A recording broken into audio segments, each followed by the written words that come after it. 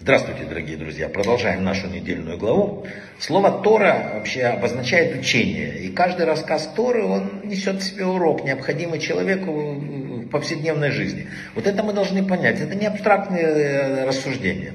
Еще в большей степени относится это к рассказу о наших праотцах. Не просто так эта целая книга об этом говорит.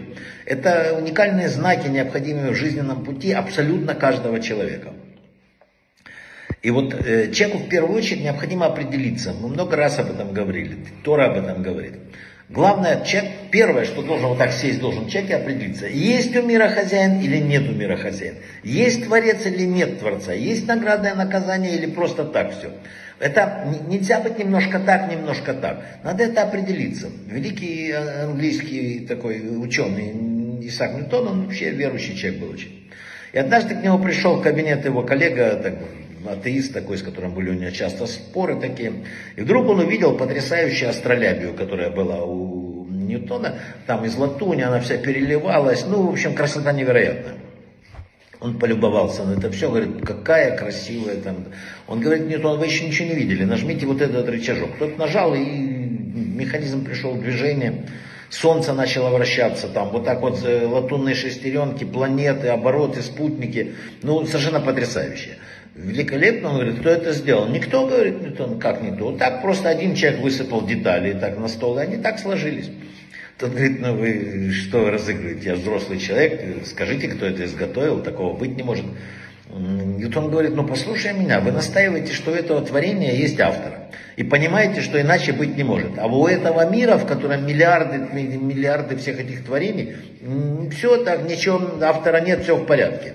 А ведь наш мир намного сложнее, чем вот эта какая-то астролябия. Поэтому не надо быть первооткрывателем там, закона всемирного тяготения Ньютоном, чтобы понимать мир и, и, и читать его как книгу по-простому. Каждая книга свидетельствует о существовании автора. Мир, в котором мы живем, доказывает, что у него есть автор и творец, вообще без сомнений. И надо быть очень упрямым или, я мягко говорю, человеком, чтобы это отрицать. Если мы это примем, что у мира есть хозяин, вот дальше уже надо смотреть, что рассказы, которые мы читаем о Якове, о Аврааме, там, это рассказы для каждого из нас. Надо только всмотреться и найти ключ вот этот шифр этой великой тайны.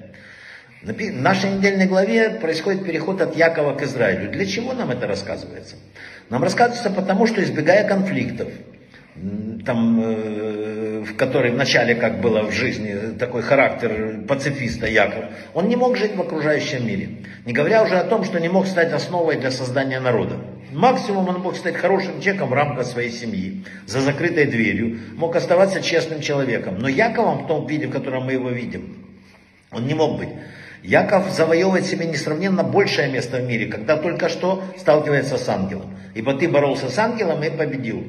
И вот э, он стал Израилем только тогда, когда не уклонился от борьбы, а твердо вступил в эту борьбу. Борьбу с кем? Что такое ангел? Ангел это то, что нам спускается сверху. Что такое ангел? Это жизненные обстоятельства, с которыми столкнулся он и с которыми сталкиваемся мы. И вот тут важно понять, о чем разговор идет.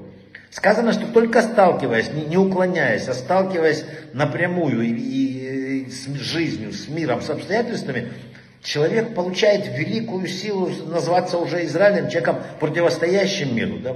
И мы укрепляем свое место в этом мире и, главное, исполняем свое предназначение. В том, что происходит с нами, мы тоже э, с Исамом, вечная война, мы тоже виноваты. Нас подвела приверженность американской мечте. Американская мечта это не наша мечта, это мечта э, дядюшки Исава. Исав видит мир как нагромождение небоскребов, мир изобилия, покрытый густой сетью железных авиаций, там олимпиады, конкурсы. Он видит бифштекс в каждой тарелке, на каждом столе. А философию иудаизма мы видим на каждой столе, молитвенник. Руки, руки Исава написано. Он может быть щедрым, великодушным, но когда мы пытаемся проникнуть в его епархию, становиться такими, как э, Исав, происходит противодействие, и он совершенно все иначе все происходит. Да? Потому что Исаак в глубине знает, что, кто мы такие, и ждет от нас соответствующего поведения. Он понимает хотя бы подсознательно, что Яков это голос, что он представляет мир духа, Торы, молитвы. Поэтому каждый современный потомок Якова, когда забредает на территорию Исава, получает отпор. Но выход у нас есть, выход есть всегда. Надо помнить выражение мудрецов.